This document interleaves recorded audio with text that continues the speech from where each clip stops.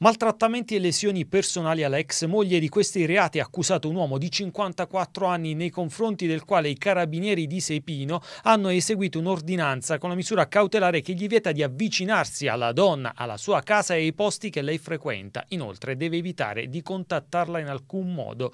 Dopo 25 anni di matrimonio il comportamento del marito è diventato pesante nei confronti della consorte, offese continue, frasi e atteggiamenti denigratori che l'hanno portata alla lasciare la casa dove viveva con lui, anche minacce di morte. Una situazione emerge dalle indagini divenuta insostenibile, tanto che ha dovuto cambiare abitudini di vita. Ha esitato a denunciarlo, ma alla fine si è rivolta ai carabinieri, raccontando di sofferenze, anche aggressioni fisiche, addirittura in una circostanza ha detto di aver subito la deviazione del setto nasale e in un'altra la lesione del timpano.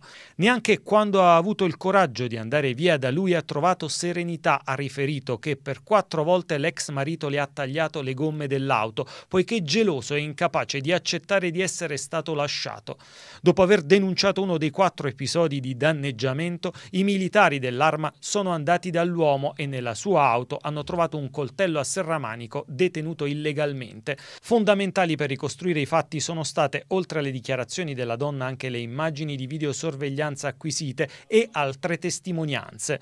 Questa vicenda, ha spiegato spiegato il procuratore capo di Campobasso Nicola D'Angelo, è la punta dell'iceberg di una tipologia delittuosa sempre più ricorrente, il cui contrasto capillare tra gli obiettivi della Procura di Campobasso è doveroso e necessario per prevenire reati più gravi. Durante questo anno, ha sottolineato D'Angelo, sono state numerose le indagini relative al codice rosso trattate da carabinieri e squadra mobile sull'intero territorio provinciale.